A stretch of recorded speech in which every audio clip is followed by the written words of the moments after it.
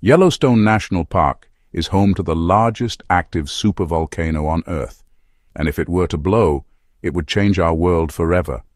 But here's the thing, it won't be alone, because while Yellowstone is the largest and most well-known, it's far from the only supervolcano still active in our world today.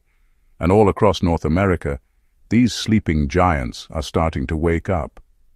Hi, I'm here to tell you the story of North America's supervolcanoes. You might know me from my social media where I share stories about all the amazing places I get to visit.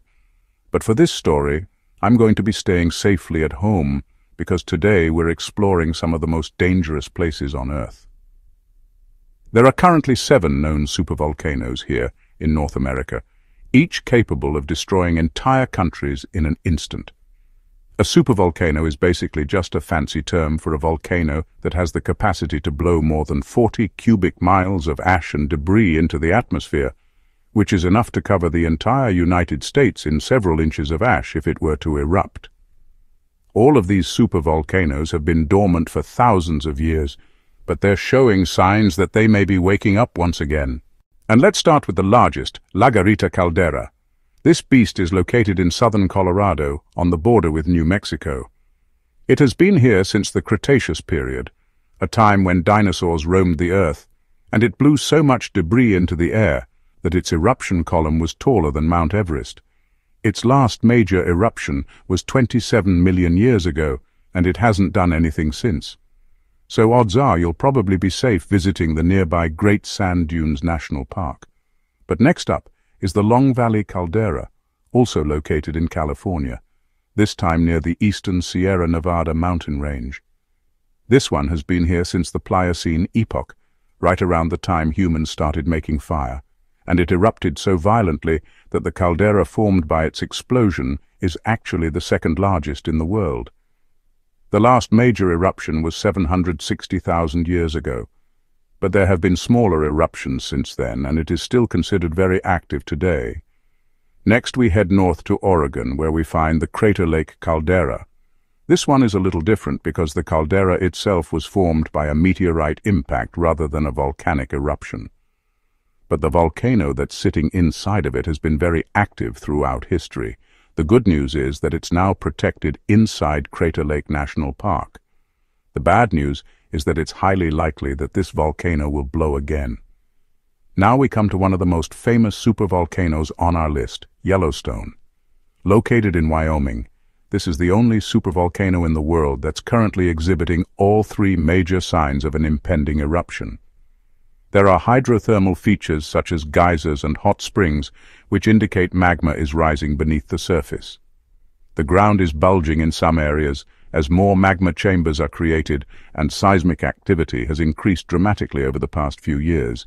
If Yellowstone were to erupt today, it could cause global chaos, blocking out the sun and causing an ice age. But we are still very lucky that it is located in the middle of a national park, because if it blew when this area was inhabited by indigenous people, the death toll could have been staggering. But Yellowstone is not the only supervolcano in the greater Yellowstone ecosystem. Just to the east, in the Absaroka range of the Beartooth Wilderness, is the Norris Geyser Basin, home to the most powerful geyser on Earth, Steamboat Geyser. Steamboat is an extremely powerful geyser that erupts every few years and shoots water hundreds of feet into the air. And the reason it does this is because there's a magma chamber just below it. In fact, there are several magma chambers down here, which scientists believe may form part of a supervolcano larger than Yellowstone. The last major eruption in this area happened 8 million years ago, and it hasn't done anything significant since. But don't let its dormancy fool you, because scientists believe it's only a matter of time before it blows again. Heading back to California, we have the Coso Volcanic Field. This one is pretty interesting because instead of being a single volcano, it's actually made up of many individual cinder cones and lava flows that stretch for tens of miles. It has been here since the Pleistocene epoch, and its most recent major eruption was 770,000 years ago. Now it's technically dormant, but it's released a small lava flow in the past 100 years. Finally, we come to the last supervolcano on our list, Mount Mazama. You may recognize this one because it's home to Crater Lake, the deepest lake in the United States. Millions of years ago, this volcano was similar to Mount Vesuvius in Italy, and it blew so violently that its summit collapsed, leaving behind a giant crater. For millions of years, this crater filled with rainwater to become the lake we see today. And although the volcano is dormant, the area surrounding the lake is still considered very dangerous due to the high frequency of earthquakes in the region. In total, these seven volcanoes have the potential to destroy everything in North America and most of Mexico and Canada as well. Their eruptions have shaped our world and caused dramatic climate change throughout history. And although they are currently dormant, they are showing signs that they may be waking up. So what can we do to prepare? Well, thankfully for us, the chances of them blowing in our lifetime are incredibly low.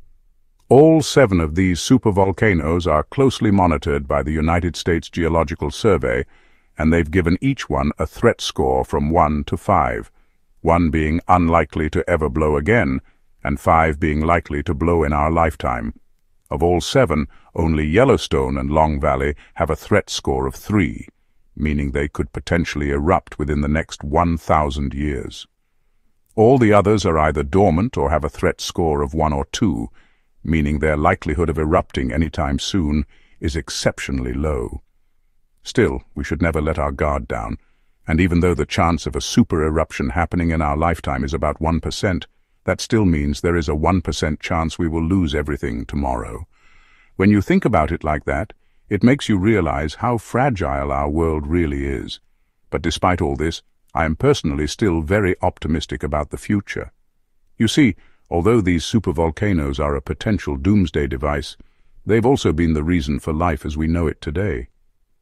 After the largest supereruption in history, the Yellowstone supereruption 640,000 years ago, the dust eventually settled and a new world was born.